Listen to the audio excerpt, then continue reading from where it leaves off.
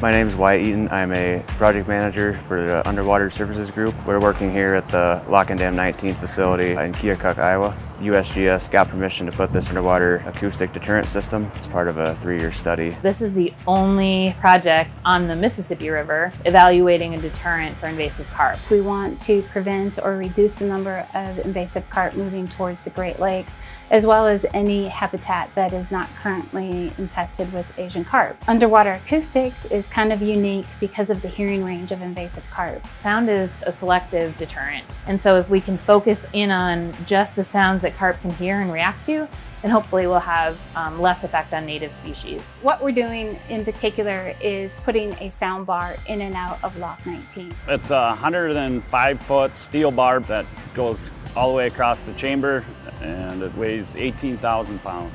What's unique about the placement and how the construction design, as well as having the contractors do the work with us, is the fact that we're able to put it in a manner that is below navigation, so there's no impact to navigation. Brennan's role is to remove the underwater fish barrier system. It's a pretty complicated underwater critical pick. Brennan's dive team is going to go down, inspect the barrier, and make sure there's no large dents or damage to it. They'll be removing a series of bolts that hold the fish barrier system down to the baffle block. After they remove those bolts, they'll take those covers off and then we'll pull all the wires from land, ratchet strap down, and we'll be able to pick the weldment and set it up on land. We're replacing the speakers with ones that have connections that can be uh, plugged in or unplugged underwater, so we don't have to remove the entire system after this year. Capabilities of the soundbar are something that we can remotely access. We have cameras that are set up, so we're actually capturing all of the video information related to what we're doing as barges move in and out so that we can create a really nice data set of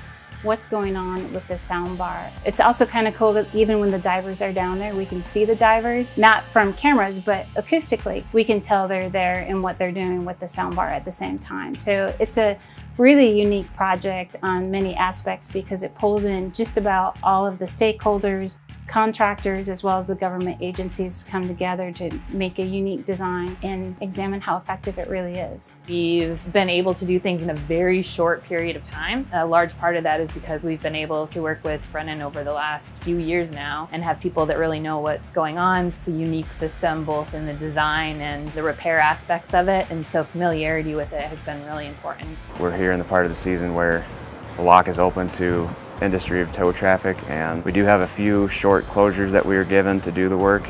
Being able to execute that work in the time frames that we're given is crucial. Not only is Brennan very knowledgeable about Army Corps operations, they're knowledgeable about locks as well as dams. So working with them, they have solutions. They're looking at things that as scientists we can't always see. We're busy trying to get the science and the technology done and Brennan can take control of the construction and make really good recommendations as to what we should do and we shouldn't do and lay out a logical plan and sequence of activities.